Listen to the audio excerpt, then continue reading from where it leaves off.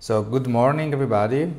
And so today we are start to speak about React. That will be um, the topic that we will cover for the vast majority of the of the course until the end. Uh, we will speak a little bit uh, about the server, about the backend, but still to be used with React. Uh, so we, we are starting today this, we will dedicate this three hour to getting started with React and basic things about React and then we will continue clearly along the course we're adding more and more complexity. So the first things you, you have to know about React uh, is not this one here actually. Uh, this is probably the second things you, you need to know. But the first things you, you need to know about React is that um, React has its own way of working, clearly. Mm. So it has some rules, it has some things that it does for a reason, and whether you agree or not with these reasons, using React means that you have to follow, you have to play with the same rules that React has. Mm? So there are things that uh, you have to do mm? because React works in that way. That's, so that's the first things to keep in mind always. And the second things you have to keep in mind is, uh, is that everything you know about uh, the DOM manipulation, hmm, so everything you did last week, basically, uh, is not wrong, but is um, not usable anymore with React. Okay, so everything you did last week was for your knowledge, but you cannot use it or should not use it anymore if you use React.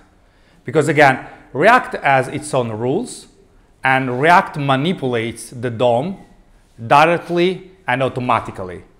Hmm? And we will see how. But it's React that manipulates the DOM. It's not you that manipulated the DOM directly. It's you telling React, please do these changes and React will take care of doing the changes like you did last week. So under the hood, React does exactly the things you do you did last week, uh, get elements by D, etc., etc., etc. But you work on a slightly higher abstraction level with React and delegate all these things to React. Hmm? So this is the first two things you, you have to know. The, the goal here is clearly to learn one of the most popular, right now is still one of the most popular uh, front-end library for the web. Um, in the first slide, I think it's called framework. Uh, do you know the difference between a framework and a library?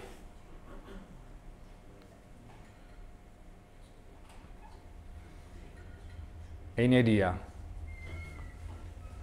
They are the same things, different things. Who cares? Yeah. Library is more specific, maybe. Uh, for example, Day.js uh, concerns only about date, while uh, Bootstrap is a framework. Yeah, exactly. Uh, library, so we, we tend to use them uh, in the same way as synonyms. Uh, we often say libraries or frameworks, doesn't matter. But actually, yes, library is more specific, like Day.js, it matters about dates and times and all that is related to date times, but not to uh, other measurement system, for instance. And React is a library for creating user interface on the web primarily, not only, uh, but it's for doing that work and trying to do that work at the best. Frameworks are more general purpose, can have libraries inside, can have multiple things. Bootstrap can be considered a framework in a way, it's more a toolkit, but yeah, it's that's the meaning. You can do multiple things with Bootstrap, even not strictly related one to, to the other. So yeah, React is one of the most popular front-end libraries used. There is the, the web version of React that is the one that we are going to use. It's called React. And there is React Native, that, as the name say, allow you to use the same mechanism, the same logic that you will see in this course, but to create native user interface. So user interface that will be ultimately used on a mobile phone or on a desktop computer, so native for the operating system, not web-based. But same library, sort of same library, same ideas to be used uh, for also creating this. Hmm? We will focus on the web part, clearly. So what we are going to see uh, in these lectures are, well, the basic principle, especially today, the architecture of a React application, and what it means to do a React application, because again, React has its own architecture on how things work, and you should follow, again, the architecture that React has, the logic that React has. Again, for instance, you should not do anymore any manipulation with the DOM directly because it's a React job now. Hmm? And then also programming techniques. Uh, and we will leverage basically whatever we have seen up to now, partially excluding the uh, JavaScript in the browser, the DOM manipulation parts, because again, it's a React job now. But everything else that we have seen about JavaScript will be in use here, hmm? because we will use JavaScript for programming with React. Hmm? And we also, in the exercise, we will also reuse some part that you did last time during the, the classes. Um, uh, well, we are using version 18 of React that was released in last year in June, uh, 18.2. Um, and we have clearly React as a website and uh, a GitHub repository. It shouldn't be um, really uh, something new. Um, and well, the React website is new. Hmm? The React website is react.dev, is a new website that went online a couple of weeks ago. And also all the documentation is new. They totally rewrite the documentation with respect to the past. And this is one thing with frameworks and libraries that they change, they love to change. So if you uh, listen to the lecture of last year, there will be some, most of the things will be similar, but other things will be different because the library changed. Hmm? And if you uh, listen for no reason to the, to the lecture of three years ago, uh, you will see that we were using uh, components that we are going to, to speak about using classes in JavaScript, but now we are speaking about components using functions because React evolved over time and we will need to, to keep pace. Instead, everything we have done until last week included is something more stable. It will be, it was like that three years ago and it will probably be like that five years in the future. These things about React that we're going to see today will be totally different in five years in the future. And it was different three years ago. Hmm? So this is one of the things about libraries and about framework that they brings with them advantages, but they are they can change because they need to evolve hmm? to keep pace with the needs of developers, etc., etc. So why we're using React as a library or in general why you should use a library considering this trade-off um, that clearly it's something that can change in, in the future. Um, so you need to keep pace if you want to continue to use that. Um, so first of all, it, React will allow us to simplify the browser environment. Hmm? So React provides you with uniform DOM methods. So instead of having a lot of DOM methods, so something similar, something old, something new, uh, some behaving some way, other giving you other way, uh, other objects, for instance, in return. Uh, React provides a uniform, modern DOM methods. And clearly you're not manipulating the DOM directly, but through React you will ultimately change the content of the page through the DOM because that's the thing that the browser understands, hmm? manipulating the DOM. Uh, there is a hierarchy in how you build the page that is more explicit than the one in um, HTML. Uh, and this is linked to the higher level components that HTML elements. And we are going to reason and build mostly components. And then components that will have inside other components, etc. in a hierarchy. And there is also an automatic processing of events and updates. That is something that React does on its own and you have to, to know the rules, not to have um, strange behavior. And it also simplify, if you keep in mind how things work, the development methods, because there are predefined patterns hmm, as some opinions react on how things should work.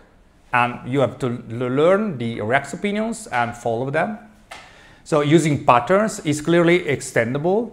There are plugins, extension, things that can build. Uh, and as, as also explicit and rigid state management structure that we are going to mention today, but we will dedicate like one hour just about the state um, next week. Uh, well, main resources, there are tutorial, there are API references, all of this is new. Hmm? A couple weeks ago, we put it online, so they, they revised entirely the, the documentation. Uh, it's, it's actually clearer than, than in the past. And we also have, uh, and we also need to use browser development tools. Uh, the React Developer Tools is something that you have to install. Hmm? It's available for Chrome, it's available for Firefox, it's the same plugin, it's the same browser extension that will allow us to uh, explore hmm, React code.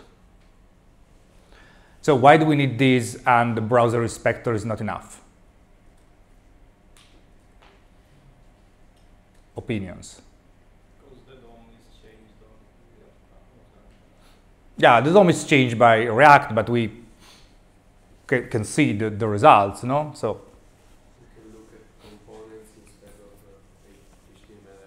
Yes, we can look at components instead of HTML. Hmm? So when you run a React application, what React does is clearly uh, translating everything in HTML, CSS, JavaScript, in plain HTML, JavaScript, and CSS. Because it's the browser understands these things. The browser understands HTML, JavaScript, and CSS. It doesn't understand components. Hmm? So what these developer tools does is to put one level higher than the browser inspector that it's still available and you can still use it for inspect HTML, JavaScript, normal JavaScript and um, uh, CSS like you did in the past. See errors in the console, see warning in the console. That is all things that still work. But these developer tools allow you to have a view on components on properties on components before they are translated in the respective HTML page. Hmm? So you can see the process going on a little bit and not just the result that is updated in the browser. Hmm? So we are going to use this to understand how things work, especially when things don't work. Hmm? Um, um, so let me add um, three minutes of uh, history and related things. Do you know who created React? And who is maintaining React? Facebook. It's actually Meta, but yeah, Facebook. Um, and why?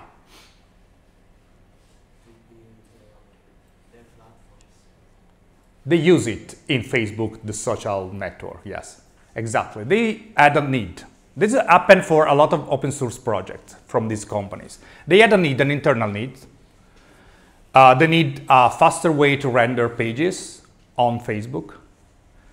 And they created this library for solving their problem, and then it worked, and they decided to, to open source and release it. And then a community built on it, and it was extended, etc., etc., etc. Hmm? So this is pretty common for uh, many uh, libraries and frameworks that start from companies. Angular is another example in Google, uh, even if they don't use it directly in their product. Uh, but in this case, it's something that stem out, stem out from uh, what they used hmm, for solving a specific need they had. That is, having faster, more responsive pages on the social network. And this idea of having faster and more responsive pages in social network is what we're then going to use for also creating our own uh, applications. Hmm? That will mostly be, if you remember the slides about um, web architecture, will mostly be um, what's called single page applications that are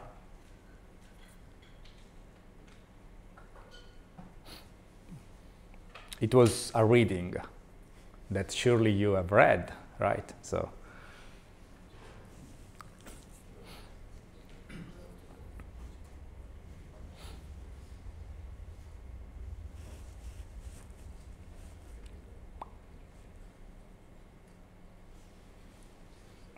Okay, so what, what's the, the, what's the traditional uh, web architecture?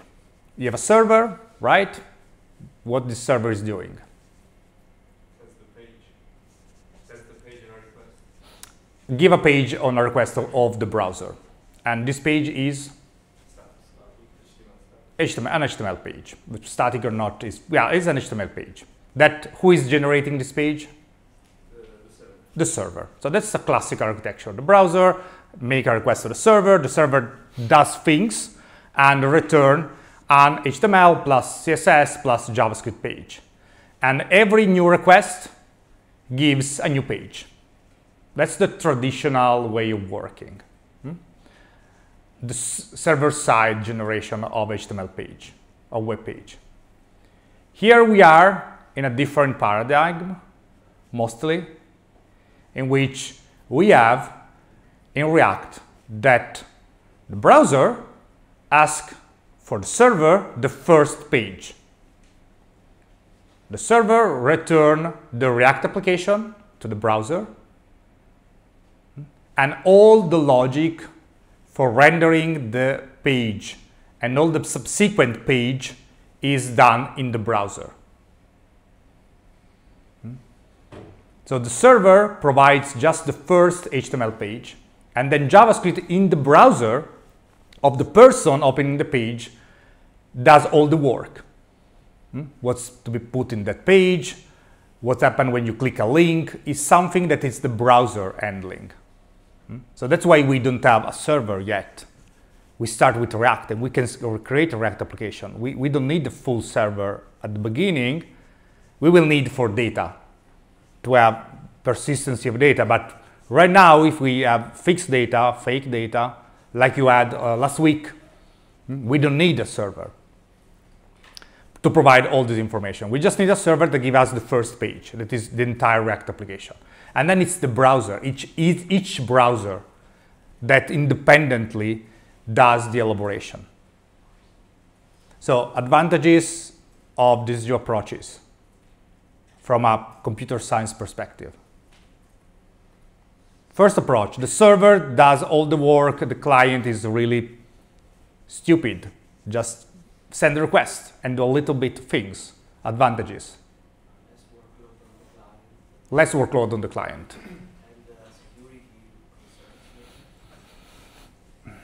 Some security concern, prob yes, maybe. Hmm. yeah, you, you have everything in a centralized place that is a server that decides on policy, so you have more control for sure. And then the, the clients, whatever they are, hmm, how many they are, doesn't matter, just send a request to the server. And, and there is quite a lot of requests going on hmm, because every client sends every request for every page. So if you have 100 page and 100 client, you send 100 per 100 request overall. That's not a problem for a server, but if you don't have 100, but you have 1 million on 10 million requests, then it's pages and uh, clients, it becomes slow. The React approach, the single page application approach, advantages and disadvantages.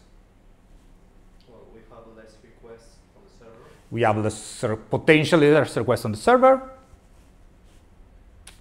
but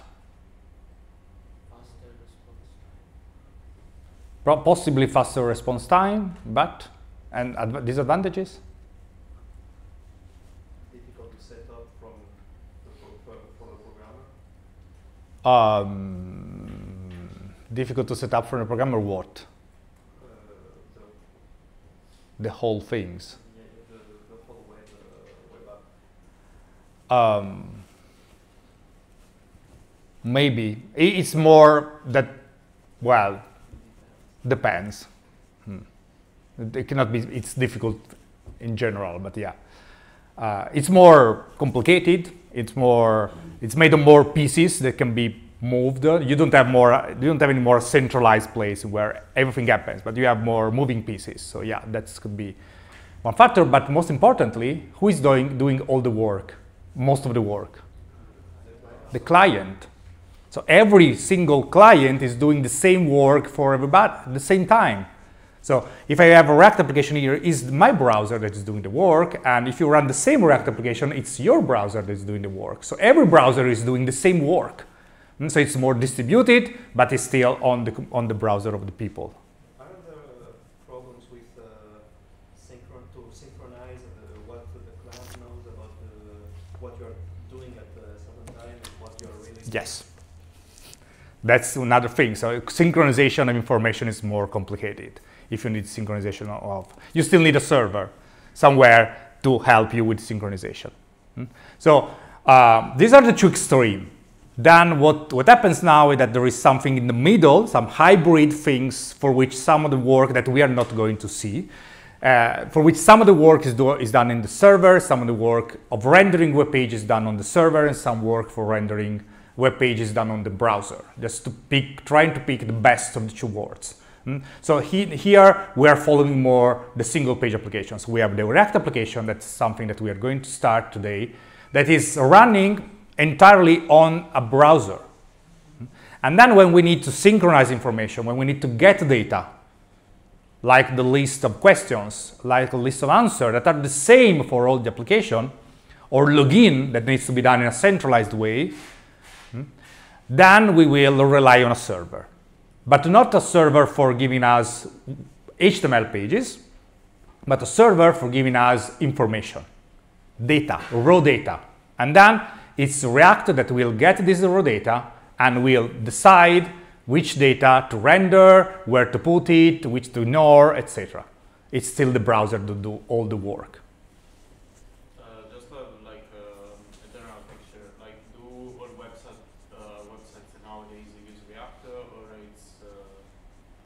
Well, not all website, uh, but uh, there is a, a, good quantity of websites, especially the one that, that needs um, high interactivity, like social media, for instance, that use something like React. Maybe not React, maybe Angular or Vue or name one, but yeah, things more similar to React than not the, the classical, let's say, way of operating because they are different need. Uh, so a newspaper website is significantly different from Instagram, just to name one. Not as content, well, also as content, but uh, about the, okay, let's imagine this, and then we will need to go back to React. Um, let's imagine that you have a newspaper website with 1 million visits per hour. And then you have Instagram with 1 million visits per hour. Hmm? Same visit. Uh, I can tell you that the number of work that Instagram needs to do is much higher than the number of work that the newspaper website has to do. Why? The, the interactions. Also different media but more the interaction. What you can do in a, in a newspaper website? Read. And maybe leave some comments. But mostly is reading, clicking, watching video, but you don't do anything. What you can do on Instagram? Like, share, send message, create videos, create, publish photos, etc., etc., etc. The, the role of these million people is very different. One million people on the newspaper website reads. So open the page and reads, and then close the page. That's it. These same one million people, in the same moment, read, comment, share, like, create videos, create, uh, post images, create stories, show stories, send messages, reply to messages.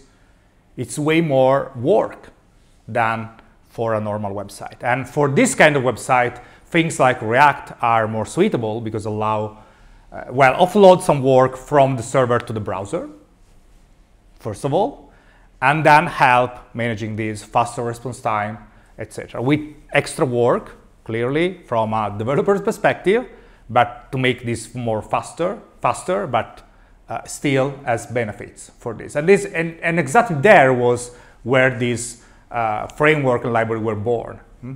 to fulfill these needs uh, of, of social networks, basically. Hmm?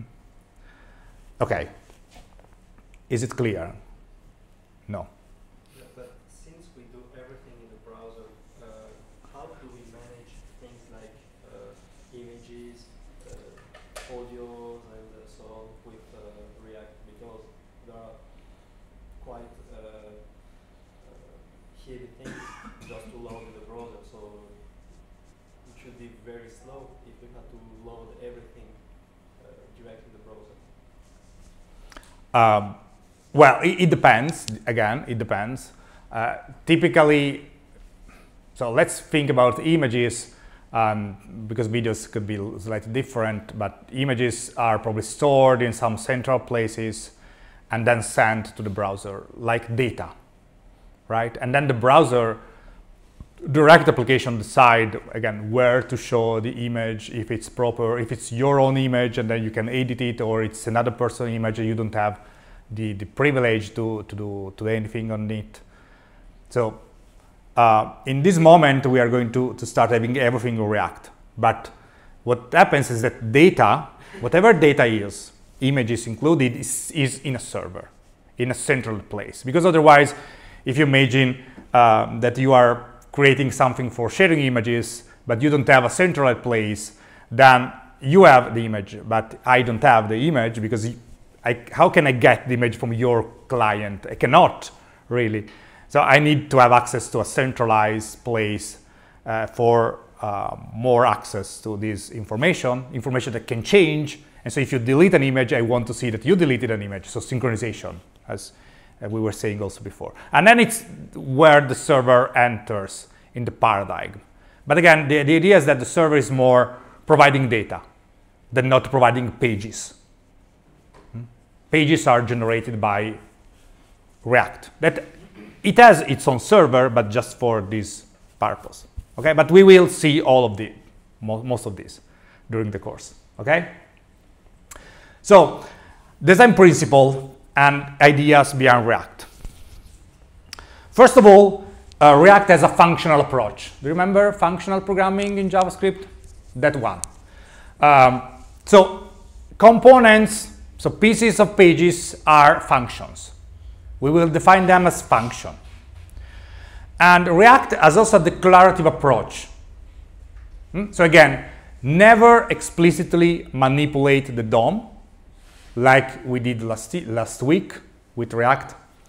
And with the declarative approach, we never explicitly define the order of operation of things that needs to re be rendered on the page we just define how components, how pieces of the page render itself. We say, okay, the navbar needs to be rendered in this way with this information. And then React does what it needs to be rendered and keep updated. Hmm?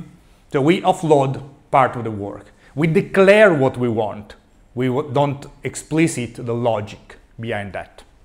Hmm? For the presentation part for the things that we want to see on a browser, on a screen. Uh, for the functional design instead, components are function. React, and this is important to keep in mind, React re-render everything on every change that you do on a component. Hmm? So re-render, regenerates all the page on any change that uh, you do on a component. And this seems really bad for performances, So you change the color of button and all the components renders. Also the others that are not the button.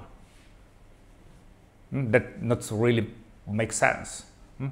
But actually, it's, it's not efficient mm, to rebuild the entire DOM for one single change.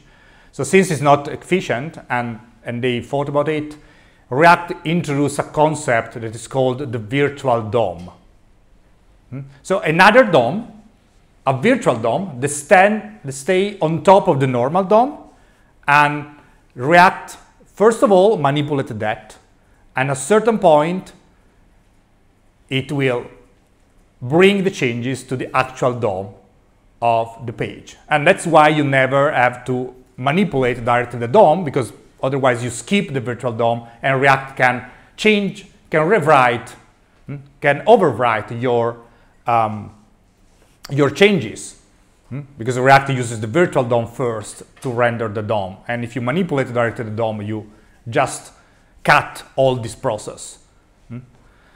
And the functional design also has an explicit management of the state of the application. Hmm? That, again, it's something that I mentioned before.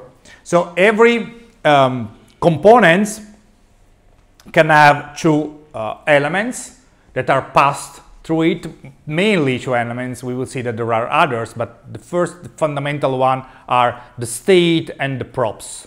The props are properties. Hmm? So we will use the name props, but you listen properties. So information that you share between components. Um, and many components don't need a state, just props. So you can also have components with just props. And each component, since it's functional, should be immutable and idempotent. Mm, So on create, the component is like that. You cannot change, you can change with the words that are in the component, but not the entire component behavior. Once it's created, you have to create another component.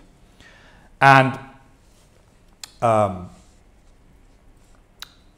this also means that props, uh, properties, hmm, so you have a component, so let's say a component's navbar, and maybe inside the component's navbar, you have another component that is a button. Hmm. And you can have properties on this navbar, the name of the website, um, that you can decide to pass to the children of these components, let's say this button. hmm. Uh, these are this information, the name of the website, is a property of the components that can be passed to the children if needed, and they are immutable. Hmm? So once- once they are set, they can only be read. The children cannot overwrite that property. Hmm? So only can be read. The state is not directly mutable. It has its own way to be mutable through special calls. And again, we will see all about state. And functions should be, it's written are pure, but let's say should be pure. So they should have no side effects beside computing the return value. And the return value is how the component is rendered on screen. Hmm? So re-rendering the same components always must always give the same result. Hmm? If I render the components once and I see one things with specific properties, the second time should, should, should appear with the same property, should appear in the same way. And after 100 times should still appear in the same way if the properties are the same. Hmm? So this is something that is given uh, by default hmm, to be always considered. Um, and a React application, as, as I was saying, is made by component. Hmm, So the navbar component, the table component, etc., etc. Some components are built-in. All the HTML elements are available as components by default. So H1, H2, P, etc. are have their own components representation. And components can be built, personalized, customized, created new components hmm, as you want. So you can create a question component, uh, answer table component, whatever you want components that will clearly encapsulate things up to the HTML level, HTML, HTML elements or components that represent HTML elements in the end, because the browser needs to understand uh, what, what to be rendered. And as I was saying before, the entire React application is re-rendered, so the entire application is re-rendered every time a state change and every time a property change. Again, terribly inefficient if you think about, about it in general, but keep in mind this virtual DOM. Uh, so each component will rebuild itself from scratch, even with minor variation. Hmm? So clearly this is, as I said before, terrible for performance, and that's why React implement a virtual DOM layer. So there is the DOM, that is the one that you used, and on top of it, React put a virtual DOM. React, like many other uh, framework and libraries similar to React, is not a specificity of React only. So if you use Angular, also Angular as a virtual DOM. So the virtual DOM is an internal data structure that is optimized for having very fast updates. Since by default, every time that you change something, everything is re-rendered, they built a data structure that is efficient for handling this, this frequent operation. Hmm?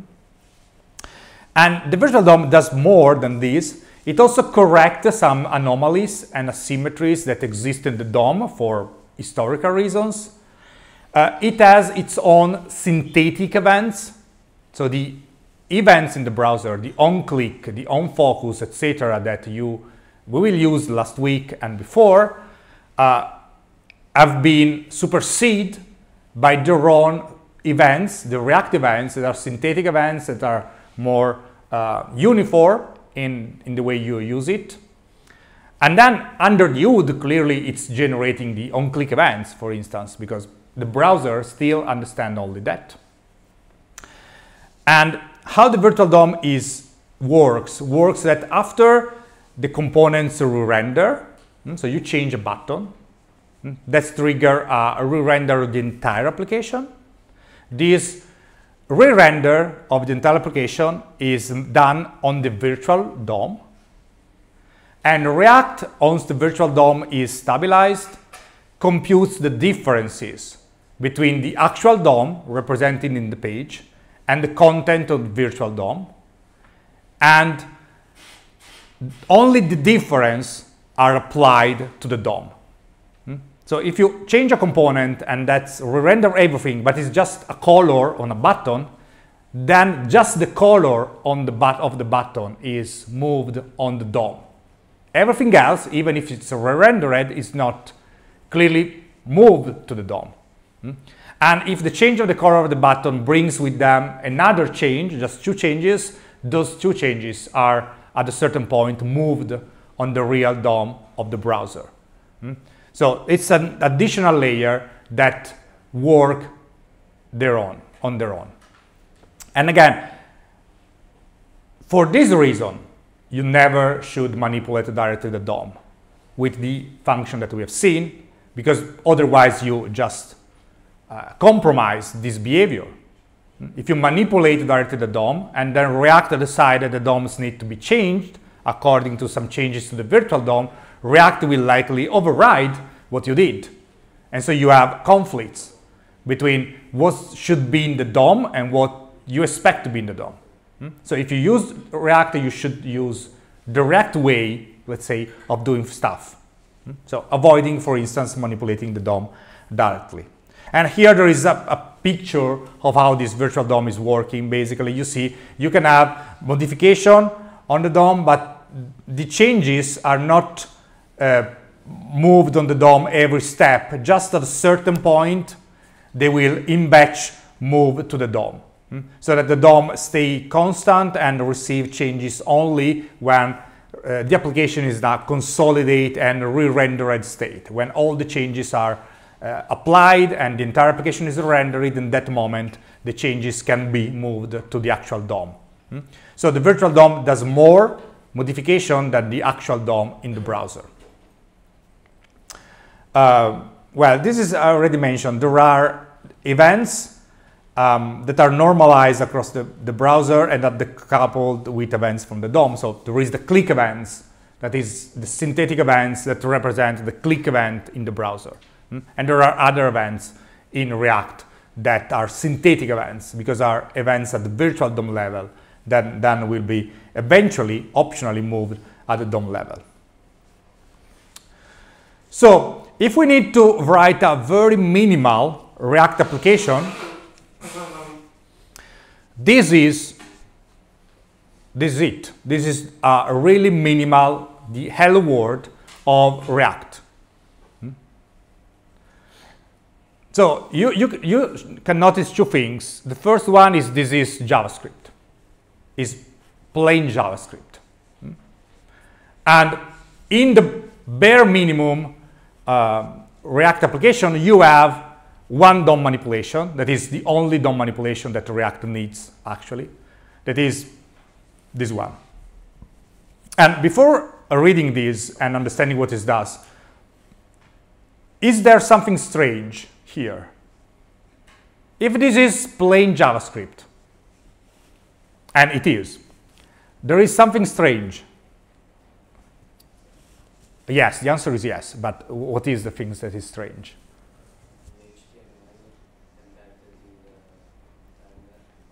The HTML embedded in the render and why strange? Should be a string. Should be a string. There should be quote, quote. But they are not. Hmm? But this works. This works. Hmm? So this is uh, what is written here, the React element. This is one thing that we are going to use that is called JSX. Uh, so something that is then computed in translated in plain JavaScript, but it represent a component. Hmm? It's the instance of a component. Hmm? So components say h1 is a component. What is h1? h1 is the component that represent the header of first level hmm? and will be rendered in the browser in the DOM as an h1, h1 HTML element. And the h1 component will accept, probably, a text, a content that will be put inside the tag h1. That in this case is hello world. Hmm? So all of these, the specific text passed to the component, hmm, it's like an instance of the component. It's the specific way in which you use that time the component, and in, in React Jergo, this is called the element. Hmm? So this is a React element. So the specific instance of a component is called an element. And this is JSX. We are going to see it in, the, in a few slides. And so this is valid JavaScript even without the quote, hmm? because this is tra translated in plain JavaScript uh, by React. Hmm? Again, is one of the things that React does under the hood. So which are the, what React does hmm, when it starts? First of all, it defines that in the HTML page, the only page that the browser receives, there should be an element, a tag, with an ID, in this case, that's called root. div ID equal root. Hmm? And this is the container this is used as the container of the entire React application. Hmm? So all the entire React application is put inside that container.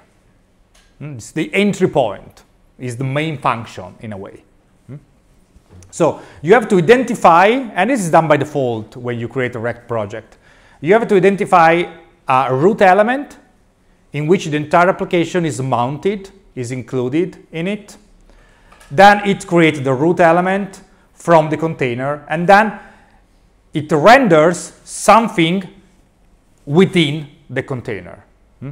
So in this case, we will have a, uh, an HTML page in which we will have, a, let's say, div in the browser.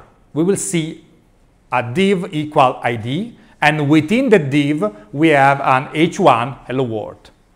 Hmm?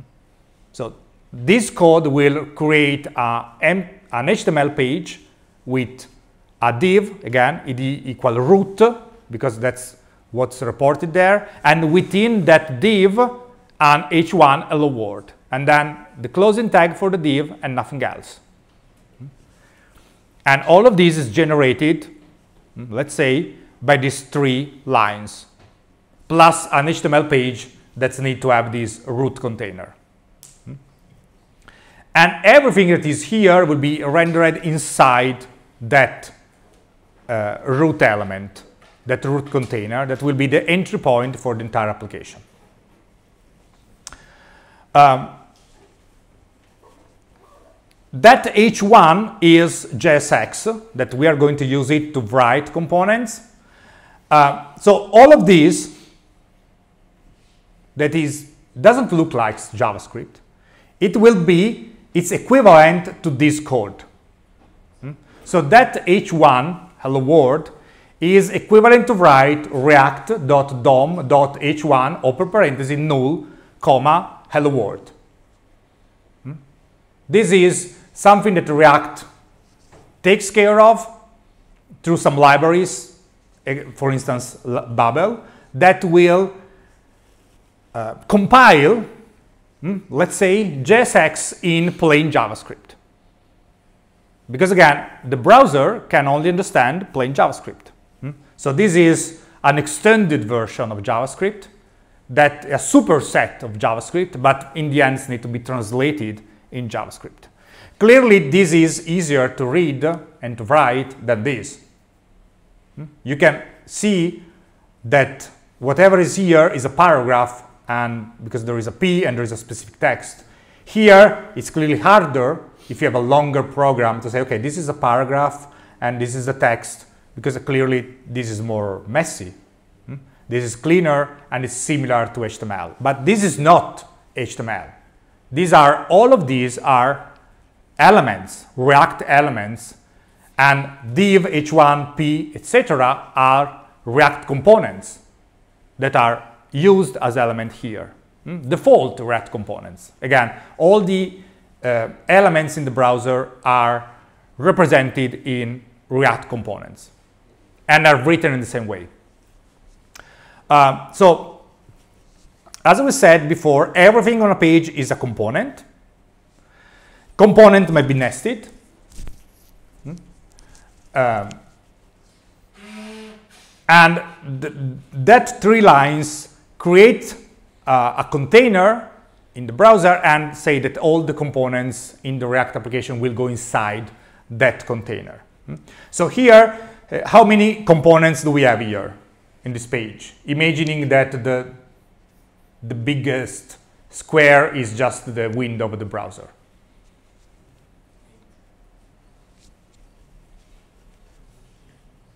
Eight. Seven. Excluding the bigger one, seven. Hmm?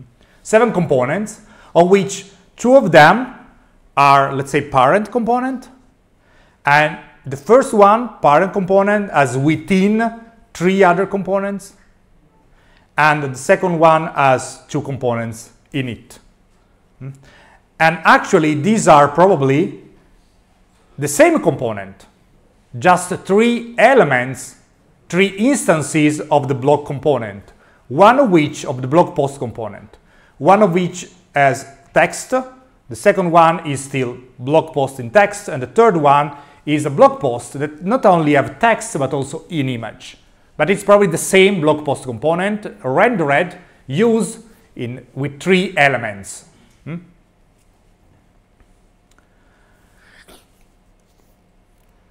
Uh, how do you define a component? With a function. Hmm? So here there is an example of how you define a component. And typically you define it with an arrow function, but you can also use uh, a normal function if you want. Uh, so you have a component, name, equal, function, and then the return is what should be rendered. Hmm? That could be another component, could be an element, of another component or could be directly the components that represent the HTML elements. Hmm? So in this case, this blog post excerpt built directly something out of the HTML, the representation of the HTML element. Hmm? But you can have a blog post excerpt that return another custom build component that will, will uh, represent another, that will return another custom build component, etc., etc., and a hierarchy until there is a components that will represent in terms of div, h1, h2, p, sections, etc. So the HTML element. There should be at the end of the chain one component that uses HTML representation of the HTML element. Hmm? And you can pass nothing to the components, so you can pass props to the components that can be used for uh, rendering, getting information. Hmm? So here there is some props, and this props is an object containing a content that will be Im image in text, in this case, since we are in a paragraph.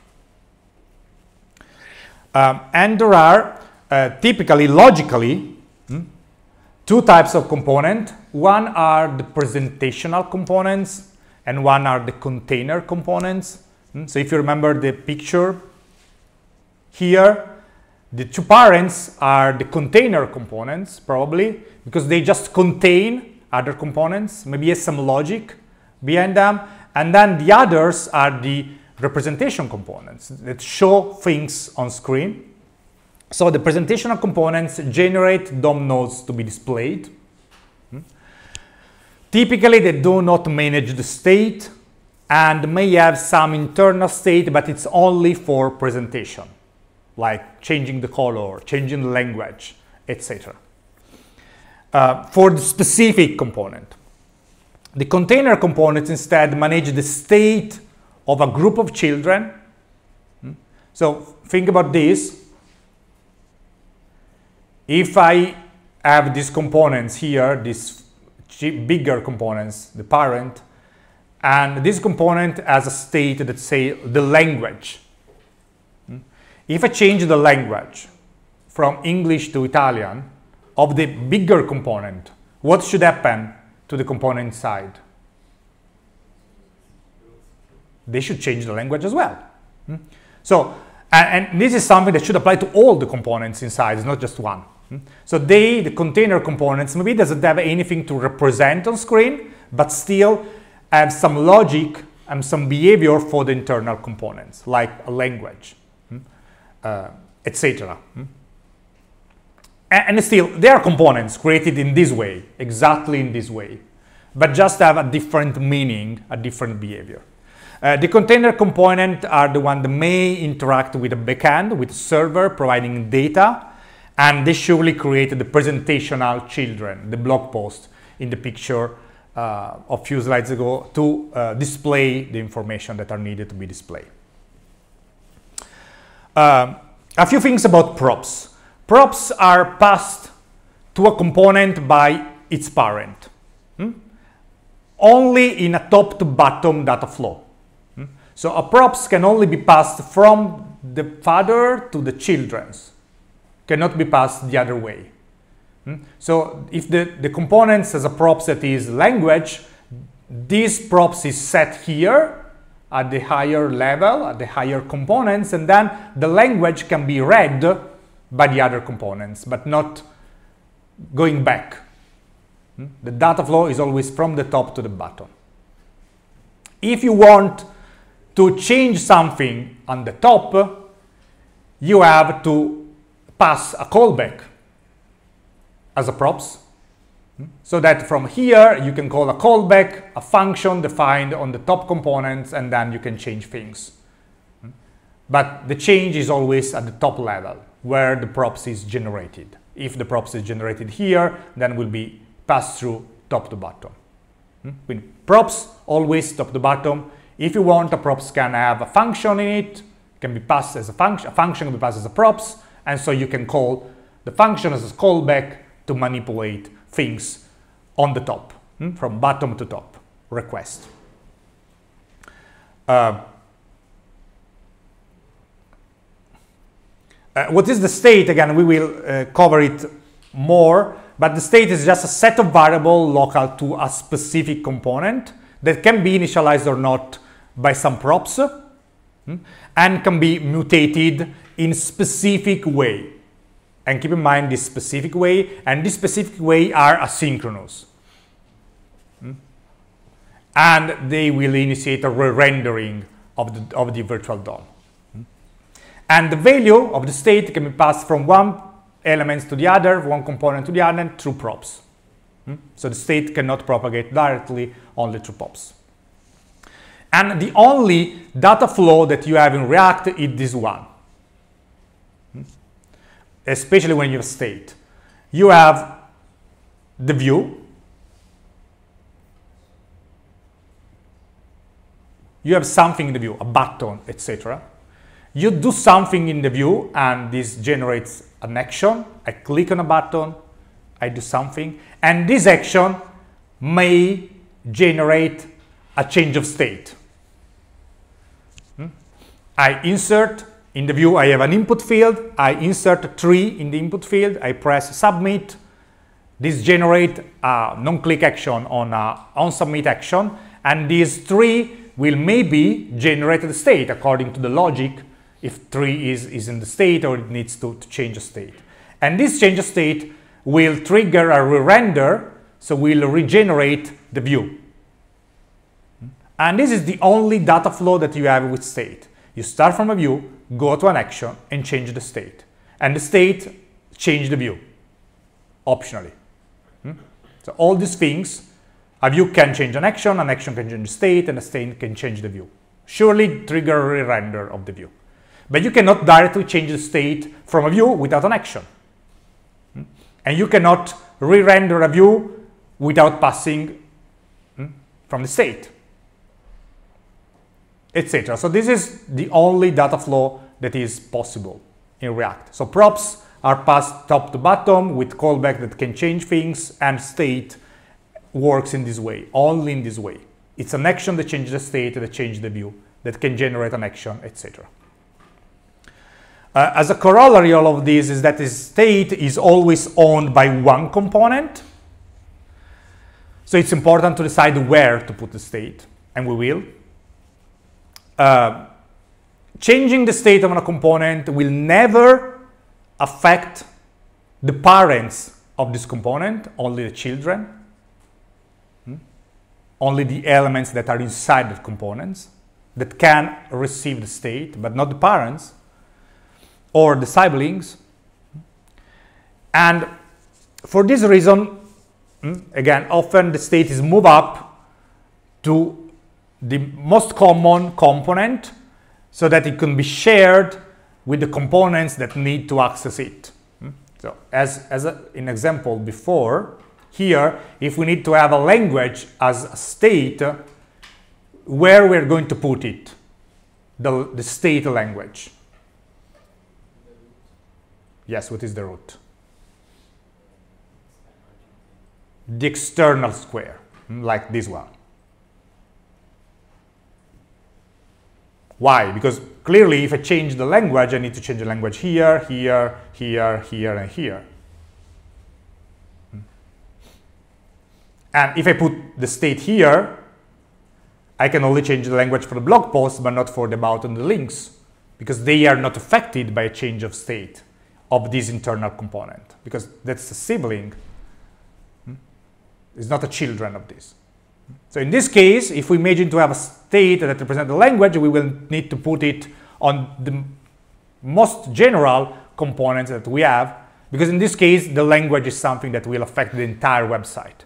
Hmm? But there are options in which it makes sense to have, for instance, a, a state here. If it's something that's just related to the blog post, the order the length of a blog post. I only want to show blog posts of this month, for instance. This does make sense to have a state about that if this could be a state at the top level because it's just re related not to the about, to the links, but just to this tree element here. So it makes sense to be in the container of the blog post. Hmm? So this need uh, this design choice or where the states need to be. And we'll again, we will reflect a little bit when we speak more about the state. So uh, what is the first React application? So uh, these are the steps. Hmm? So first of all, we will need to create a project, import the React library. We need to install the dependencies for use JSX. We need to have a, a web server. A web server to be able to use modules. mm, so the ones that in Node.js we said require mm, are modules and we want to import and export things between files. Uh, and this is possible in uh, thanks to web server in the browser and thanks to the type equal modules in the root script in the HTML page. And then we need to implement polyfill and maybe we would like also to have something that when we save the code, the page will be refreshed, not to manually refresh, etc. So all these requirements, we are not going to do this manually, but there are tools that create um, React project from scratch for us with all these needs uh, satisfied, with all the dependencies that we need. And uh, we are going to use this year um, this way of generating a React application using Vite. Hmm? Vite is another JavaScript mm, library hmm, that does various things, including generating React applications so that you can work in React. So what we're going to do is to use npm with this command is create, not install. And we will say npm create vite at latest to get the latest version everything, and then set a name for our React application, whatever the name. Then it will appear a menu in which you can choose React or other li libraries, but in our case React, and then JavaScript plus SWC, and SWC is, uh, um, let's say, compiler from JavaScript uh, written in Rust that it's used for performance reason by Vite. Um, then you can then wait a little bit. It will generate in a folder called my app or whatever you're using here, the React application. Then you can do npm install to install all the dependency from packages.json, including React. Wait a little bit, um, in this case 60, 65 megabytes later, you have the entire React application ready, the Scratch React application ready, and you can run it with npm run dev. And at that point, you can open a web browser to the localhost with port 5173 and see the default base React application that will be slightly more complex than the three line that I show you. It will be just a little bit structured and it will be structured like this. Hmm? So it will have uh, package.json, we already know these two. Uh, git ignore for anything not to be put on, on Git. Uh, and then some default config of, of Vite that we, we don't need to, to check. Then we'll have an index.html that we typically don't touch. It's the default things. That's the one that defines the root element, the root container where the React application is going to build, hmm, to mount everything. This loads the main JSX, that is a JavaScript file that will contain JSX code, that can contain JSX code, and that's why it has the extension JSX. That is mandatory exception, uh, extension, otherwise not working.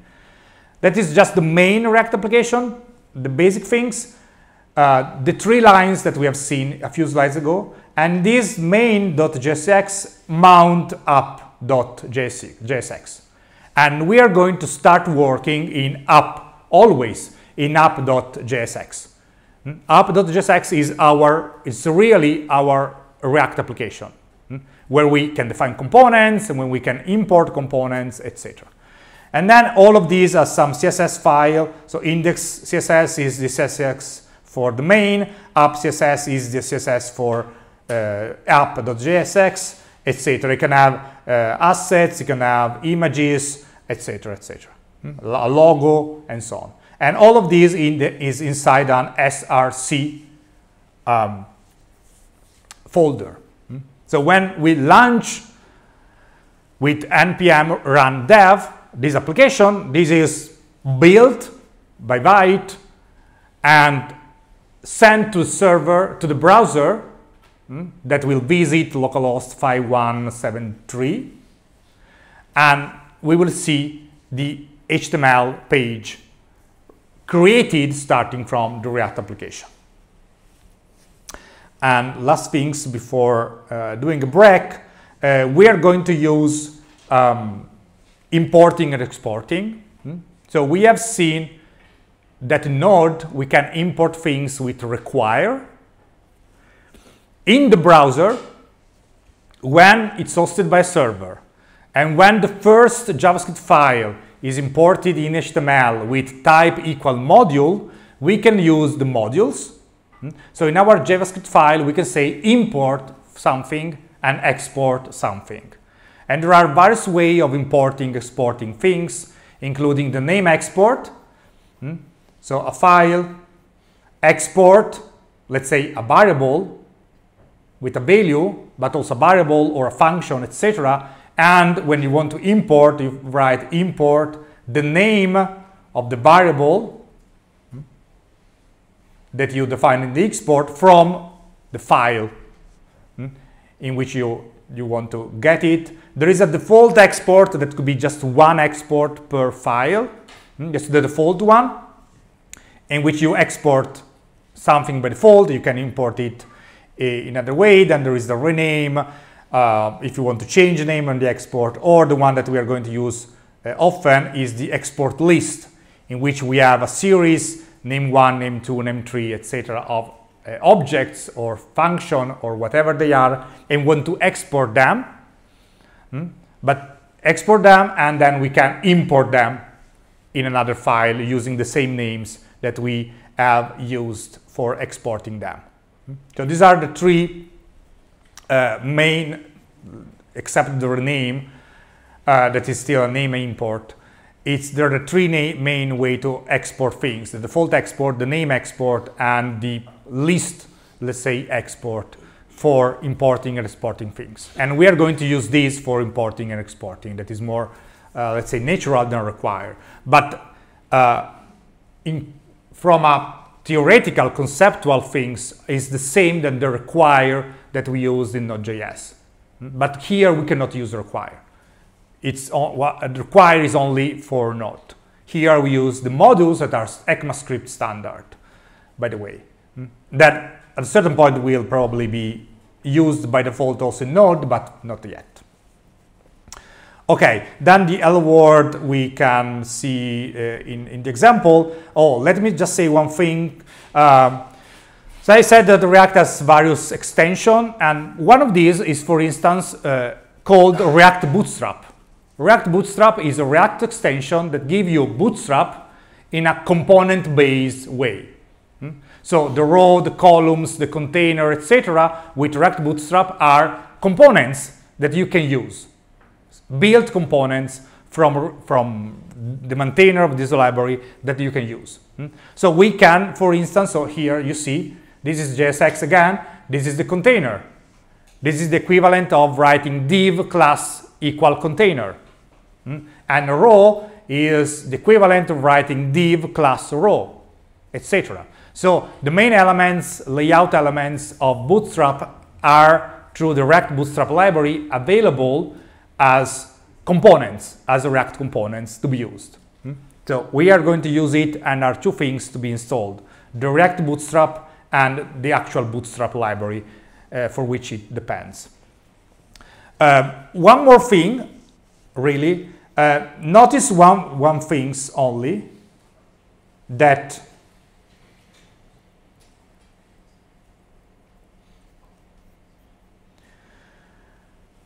components defined by you or by anybody are written with a capital letter like a construction function, even if they're not. Hmm? So by default, components are written with a capital letter. The only components that are not written with a capital letter are the one that represent the HTML elements. All the other components have a capital letter.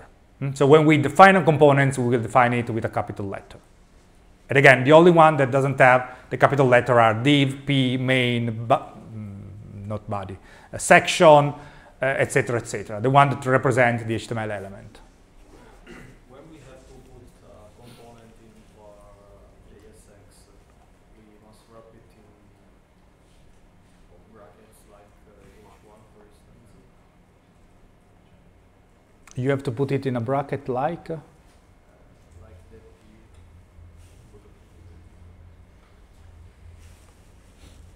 Oh, you mean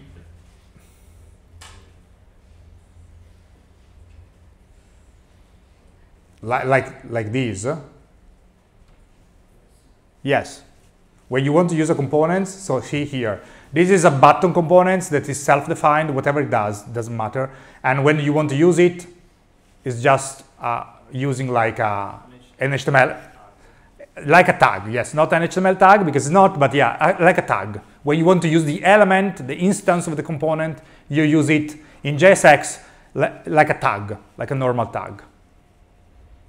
Okay, but we, we, we will do an example in the next hour after 15 minutes break.